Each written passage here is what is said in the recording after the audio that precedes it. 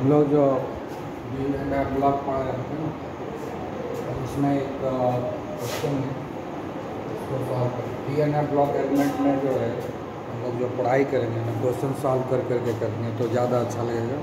Otherwise ये boring है। समझ गए ना? इसमें हम लोग क्वेश्चन सॉल्व करते जाएँगे तो वो ज़्यादा अच्छा ठीक है?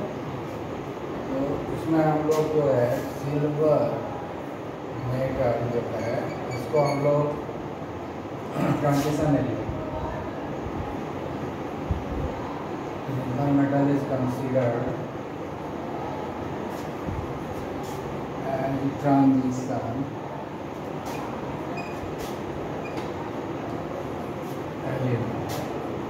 ठीक है सिल्वर को हम लोग ट्रांजिशन एलिमेंट क्यों? जबकि इसका जब इलेक्ट्रॉनिक कॉन्फ़िगरेशन लिखोगे सिल्वर का। ठीक है? सिल्वर का इलेक्ट्रॉनिक कॉन्फ़िगरेशन लिखो। ठीक है? तो सिल्वर का एटॉमिक नंबर कितना होता है? फोर्टी सेवन होता है। सिल्वर का एटॉमिक नंबर कितना होता है? दिखाएगा इलेक्ट्रॉनिक कॉन्फ़िगरेशन पहला तो क्रिप्टॉन में चला गया पूरा। और उसके बाद जो है four D ten five S four D ten five S ठीक है? इसका इलेक्ट्रॉनिक कॉन्फ़िगरेशन क्या है? फोर डी टेन है। फाइव एस वन इनके इलेक्ट्रॉन लॉस करने के बाद भी एक इलेक्ट्रॉन लॉस करने के बाद भी इसका डी जो है ऑर्बिटल अगर हम सिल्वर आयन एक इलेक्ट्रॉन लॉस हो जाएगा इसका इलेक्ट्रॉनिक कॉन्फ़िगरेशन हो जाएगा। Four D ten completely filled है डी अभी भी। तो फिर भी कैसे हम सिल्वर को हम लोग ट्रांजिशन एलिमेंट मानते हैं? ठीक है? हाँ? लेकिन है क्या सिल्वर जो है ना प्लस टू ऑक्सीडेशन स्टेट भी शो करता है सर्टेन ठीक है ना? तब जा कर के इसीलिए हम इसको फोर डी नाइन हो गया। अब इनकम्प्लीट एक नाइन है ना? हाँ? एक दो।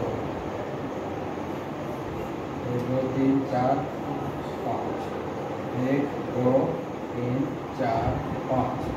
छः सात आठ नौ। एक अंक रह गया। कम्प्लीटली फिल्ड रह गया ना? हाँ? तो जब ये ए जी प्लस रहेगा उस समय हम नहीं बोल सकते हैं कि ट्रांजिशन है।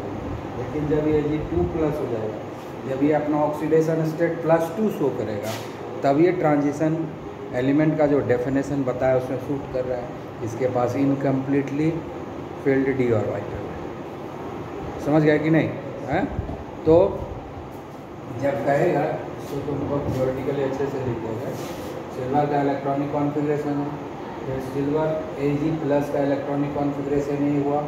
लेकिन अभी कम्प्लीटली फिल्ड है तो इसको हम ट्रांजिशन नहीं कर सकते हैं। लेकिन सिल्वर का बहुत सारा कंपाउंड है, जिसमें कि silver plus two oxidation state show करता है।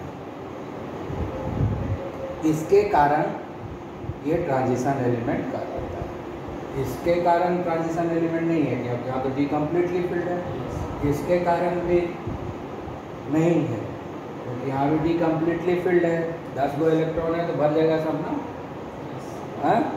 लेकिन जब ये plus two oxidation state show करता है, तब इसका डी जो है इनकम्प्लीटली फिल्ड हो जाता है। इसीलिए ट्रांजिशन एलिमेंट काला यानी इसके चलते इसके चलते ये ट्रांजिशन एलिमेंट है। समझ में आ गया? आई बात समझ में? इसके कारण प्लस टू ऑक्सीडेशन स्टेट के कारण ये जो है ट्रांजिशन एलिमेंट कहलाता है। अगर प्लस टू ऑक्सीडेशन स्टेट इसका नहीं होता, प्लस वन ऑक्सीडेशन ही स्टेट रहता, तब ये जो है नहीं कहलाता ट्रांजिशन। समझ में आ गया? तो ज़्यादातर तो प्लस वन ऑक्सीडेशन स्टेट ही रहता है सिल्वर का। कुछ सर्टेन केस में प्लस टू ऑक्सीडेशन स्टेट भी है सिल्वर का तो वहाँ पर जा कर के जो है ये ट्रांजिशन एलिमेंट है समझ गए? तो जस्टिफाई हो गया कि ट्रांजिशन एलिमेंट क्यों है? क्योंकि ये plus two oxidation state show करता है। समझ गया? ये क्या शो करता है? प्लस टू ऑक्सीडेशन स्टेट इसीलिए और प्लस टू ऑक्सीडेशन स्टेट में इनकम्प्लीटली फिल्ड डी ऑर्बिटल है, इसीलिए ट्रांजिशन एलिमेंट ठीक है? क्लियर है? अब ये नेक्स्ट क्वेश्चन क्या है? है M N two plus compound मतलब जब manganese plus two oxidation state में होता है। ये ज़्यादा स्टेबल है। एफ़ टू प्लस आयरन भी प्लस टू ऑक्सीडेशन स्टेट में है और एम एन टू प्लस भी प्लस टू ऑक्सीडेशन स्टेट दोनों का ऑक्सीडेशन स्टेट सेम है। लेकिन कौन ज़्यादा स्टेबल है? एम एन टू प्लस का कंपाउंड ज़्यादा स्टेबल टूवर्ड्स ऑक्सीडेशन जब हम इसका ऑक्सीडेशन जब इसका हम ऑक्सीडेशन कराते हैं तो एम एन टू प्लस ज़्यादा जो है स्टेबल है। या फिर टू प्लस के मुकाबले। ये दोनों ही कंपाउंड है। दोनों को हम लोग एम एन टू प्लस मतलब जब एम एन का बैलेंसी टू होता है। या फिर टू प्लस मतलब जब आयरन का बैलेंसी टू होता है। समझ गया ना? हाँ? तो इसको हम लोग कैसे समझेंगे? इलेक्ट्रॉनिक कॉन्फ़िगरेशन से समझेंगे। तो एम एन का हम लोग इलेक्ट्रॉनिक कॉन्फ़िगरेशन लिखेंगे और फिर एफ़ का भी लिखेंगे। ठीक है? वो समझे? हाँ? एम एन का जो होता है एटॉमिक नंबर मैग्नीज का एटॉमिक नंबर है ट्वेंटी फाइव मैग्नीज का एटॉमिक नंबर कितना है? ट्वेंटी इसका इलेक्ट्रॉनिक कॉन्फ़िगरेशन लिखेंगे। ठीक है? ए आर आर्गन हो गया three D five four S two ठीक है? आगे में इसी तरह से आयरन का जो है आयरन का ट्वेंटी सिक्स होता है। आयरन का कितना होगा? ट्वेंटी सिक्स इसका होगा electronic configuration three D six four S two यही है ना इलेक्ट्रॉनिक कॉन्फ़िगरेशन अब अब देखो इसमें थ्री डी फाइव है। थ्री डी फाइव है ना। थ्री डी सिक्स है। कौन स्टेबल ज़्यादा होगा महीने ज़्यादा स्टेबल होगा हाफ़ फ़ील्ड है। मोर देन हाफ़ फ़ील्ड है तो लेस स्टेबल होगा दोनों का सेम है। लेकिन बात मैग्नीज और आयरन का हो ही नहीं रहा। बात हो रहा है एम एन टू प्लस और एफ़ टू प्लस अब हम जो है लिखेंगे एम एन टू प्लस का इलेक्ट्रॉनिक कॉन्फ़िगरेशन ये क्या हो जाएगा? एम एन टू प्लस का मतलब दो इलेक्ट्रॉन का लॉस तो ये इसका दो इलेक्ट्रॉन लॉस कर दिया फोर एस का। तो हमको मिल गया थ्री डी फाइव हाँ? उसी तरह से हम लोग एफ़ ई टू प्लस बनाते हैं। जैसे फेरस सल्फेट हुआ है ना? फेरस ऑक्साइड हुआ ये सब। तो इसका इलेक्ट्रॉनिक कॉन्फ़िगरेशन क्या हो जाएगा? थ्री डी सिक्स है कि नहीं? हाँ? अभी यहाँ से यहाँ यही ऑक्सीडेशन ही हुआ। दो इलेक्ट्रॉन का लॉस हुआ। इसमें भी दो इलेक्ट्रॉन का लॉस हुआ। तो एम एन ऑक्सीडाइज हो गया एम एन टू प्लस में। एफ़ ऑक्सीडाइज हो गया एफ़ टू प्लस में। अब देखो, ये थ्री डी फाइव है तो ये ज़्यादा स्टेबल है। इससे ज़्यादा स्टेबल ये है ना? थ्री डी फाइव है। अगर ये दोनों का स्टेबिलिटी कंपैरिजन करोगे तो एम एन टू प्लस ज़्यादा स्टेबल होगा कि नहीं? इसका three D five electronic configuration है, इसका थ्री डी सिक्स है मोर देन हाफ़ फ़ील्ड है ये। अनस्टेबल होगा, ये एग्जैक्टली हाफ़ फ़ील्ड है। डी में दस इलेक्ट्रॉन होता है ना तो उसमें पाँच ही इलेक्ट्रॉन है। हाफ़ फ़ील्ड जो है एक्स्ट्रा ऑर्डनरी स्टेबल होता है completely filled extraordinary stable होता है। खाली जो होता है, वो भी स्टेबल होता है। तीनों स्टेबल होता है ना, खाली स्टेबल होता है। एम स्टेबल होता है। हाफ़ फ़ील्ड स्टेबल होता है। कम्प्लीटली फ़ील्ड में स्टेबल होता है। लेकिन more than half filled and less than half filled वो अनस्टेबल होता है। ये मोर देन हाफ़ फ़ील्ड है ना? ये अनस्टेबल है कि नहीं? ये स्टेबल है? क्योंकि एग्जैक्टली हाफ़ फ़ील्ड है आउटर मोस्ट ऑर्बिट में और ये अनस्टेबल है। ये अनस्टेबल है तो अपने आप को स्टेबल करने की कोशिश करेगा ये। ये ऑलरेडी स्टेबल है तो अपने आप को अनस्टेबल करना चाहेगा? हाँ? नहीं करना चाहेगा? हाँ? तो टुवर्ड्स ऑक्सीडेशन बोल रहा है ना? इन्हें ऑक्सीडेशन होना चाहिए यानी लॉस ऑफ़ इलेक्ट्रॉन यहाँ भी ऑक्सीडेशन नहीं हुआ है। यहाँ भी ऑक्सीडेशन नहीं हुआ है। हैं? लॉस ऑफ़ इलेक्ट्रॉन हुआ तो ऑक्सीडेशन हुआ रे। फिर हम इसका ऑक्सीडेशन करें इसका भी ऑक्सीडेशन करेंगे यानी फिर से जो है लॉस ऑफ़ इलेक्ट्रॉन कराएँगे। अब क्या हो जाएगा? एम एन थ्री प्लस हो जाएगा। होगा ना? और वैसे तो सब कंफ्यूजन है। प्रोडक्टिविटी हो रहा है ना? ठीक है? एन थ्री प्लस हो जाएगा तो इसका इलेक्ट्रॉनिक कॉन्फ़िगरेशन क्या हो जाएगा A R three D four होगा ना? ऑक्सीडेशन होने के बाद, और जब एफ़ ई टू प्लस का oxidation F E three plus में हो जाएगा तो इसका इलेक्ट्रॉनिक कॉन्फ़िगरेशन हो जाएगा थ्री डी फाइव ये अनस्टेबल हो गया लेस देन हाफ़ फ़ील्ड और ये क्या हो गया? स्टेबल हो गया। हाँ? स्टेबल हो गया कि नहीं? तो एफ़ टू प्लस चाहेगा कि हम एफ़ पी थ्री प्लस में हो जाए, क्योंकि उससे उसका स्टेबिलिटी बढ़ा। है और एम एन टू प्लस कभी नहीं चाहेगा कि हम अनस्टेबल ऑक्सीडेशन कराएँगे तो M N two plus unstable हो जाएगा।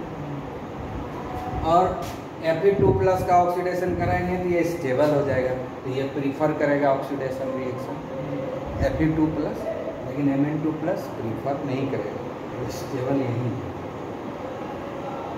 समझ गया ना? तो M N two plus compounds are more stable than F two plus towards oxidation मतलब ऑक्सीडेशन कराने जाएँगे तो एम एन टू प्लस ज़्यादा स्टेबल होगा। वो ऑक्सीडेशन में जाना ही नहीं चाहेगा टुवार्ड्स ऑक्सीडेशन मोर स्टेबल मतलब क्या हो गया कि ऑक्सीडेशन में जाना नहीं चाहेगा और एफ़ टू प्लस ऑक्सीडेशन में जाना चाहेगा, क्योंकि वो अनस्टेबल है तो अपने आप को स्टेबल कर लेगा ऑक्सीडाइज हो करके लेकिन एम एन टू प्लस अपने आप को अनस्टेबलाइज क्यों करेगा? स्टेबिलिटी को डिस्टर्ब क्यों करेगा? इसलिए वो ऑक्सीडेशन में जाना प्रीफर नहीं करेगा। तो इसको दूसरे तरीके से भी बोल सकता है कि M N two plus oxidation prefer नहीं करता है। F two plus oxidation prefer करता है। दूसरे तरीके से ये भी पूछ देगा। कि अगर तुम एम एन टू प्लस और एफ़ ई टू प्लस को कंपैरिजन करो तो कौन जो है ऑक्सीडेशन प्रीफर करेगा? F E two plus prefer करेगा M N two plus prefer नहीं करेगा, क्योंकि वो अनस्टेबल हो जाता है। दुनिया में हर चीज़ अपने आप को स्टेबल करना चाहता है अनस्टेबल तो रहना नहीं चाहता है। समझ गया कि नहीं? आए बात समझ तो दूसरे तरीके से भी पूछोगे तो आंसर यहीं पर है। तो इसको तुम लैंग्वेज में बना के लिख लोगे। ठीक है ना? आ गया समझ में? क्लियर तो मतलब क्या हो गया कि thirty two plus M N two plus के कंपैरिजन में इजीली ऑक्सीडाइज होता है। इसको दूसरे तरीके से भी पूछ सकता है question M N F E two plus is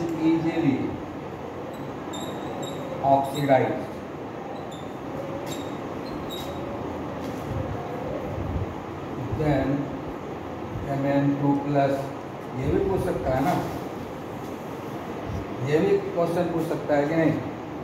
है? इसका भी तो आंसर यही होगा। आगे में ना, क्योंकि F two plus FB three plus बनता है तो स्टेबल हो जाता है। M N two plus M N three plus बनता है तो अनस्टेबल हो जाता है। इसलिए प्रीफर कौन करेगा है जो स्टेबल होगा। इसीलिए ये प्री इजिली ऑक्सीडाइज होगा। और M N two plus easily oxidize ठीक है? क्लियर हो गया?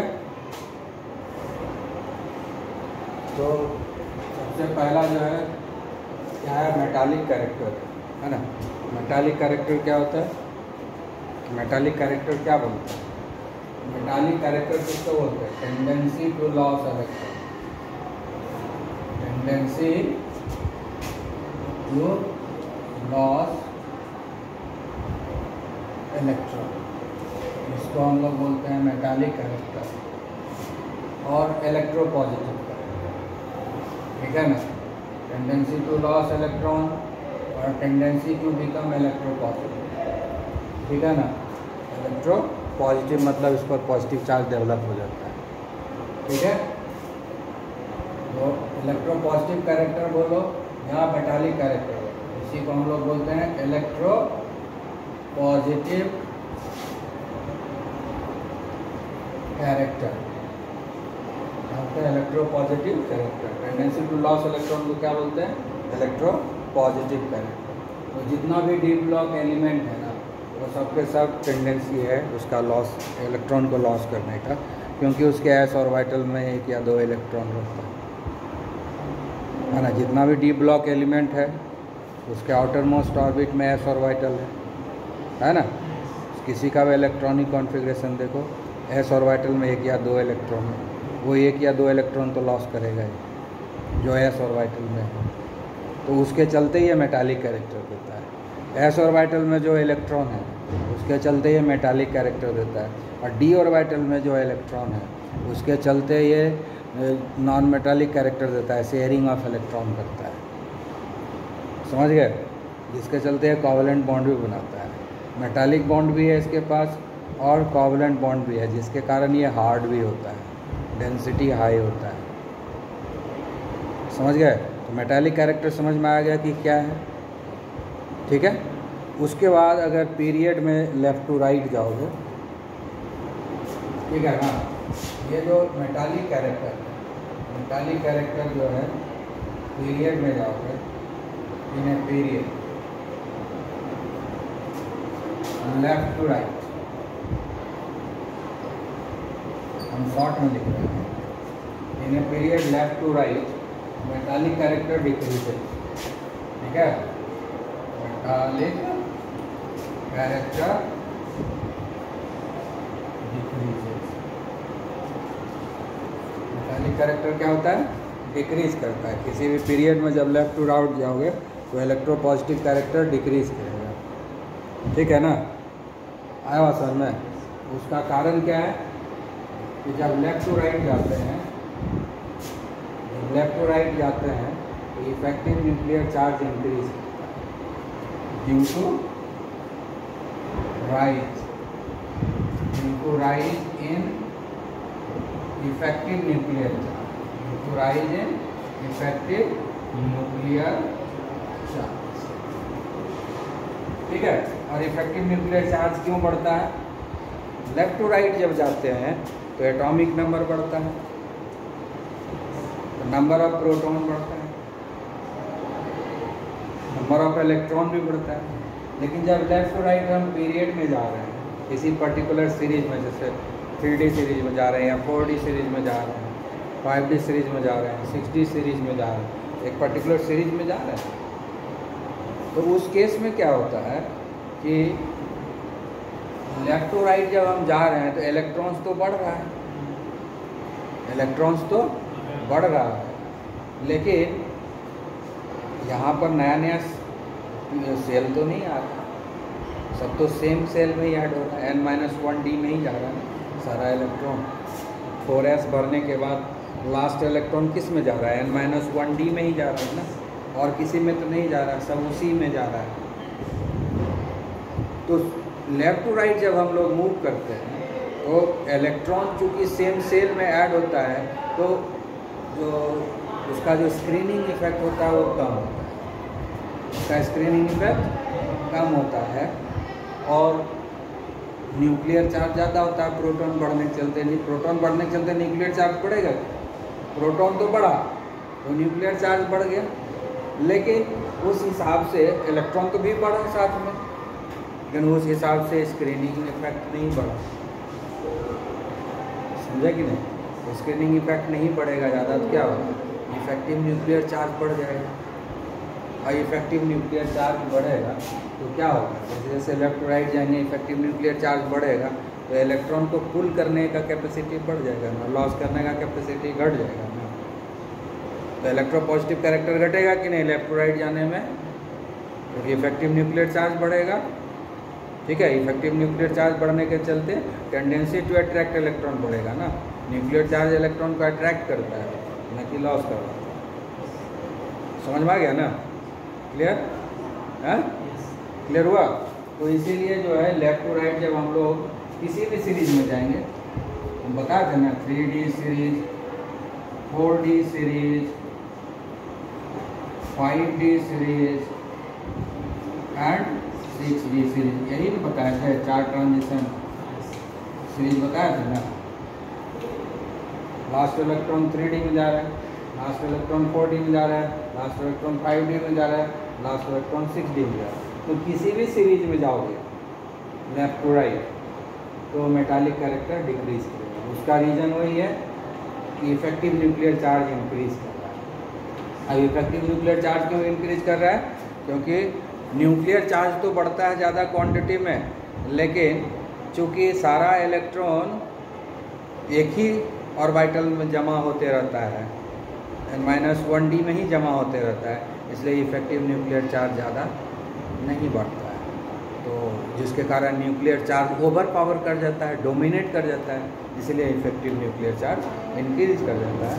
और इसीलिए जो है, जब in general left to right जाएँगे तो मेटालिक कैरेक्टर डिक्रीज होगा, या फिर tendency to loss electron decrease होगा टेंडेंसी टू अट्रैक्ट इलेक्ट्रॉन बढ़ जाएगा। ठीक है? समझ गए?